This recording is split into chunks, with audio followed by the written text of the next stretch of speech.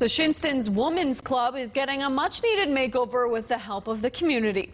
Due to COVID 19, City Council can no longer meet in council chambers because they say it's too small to maintain proper social distancing. To help, the Women's Club is offering its building, and in return, the city, along with help from the Jewel City Youth Group, have come together to help do some renovations.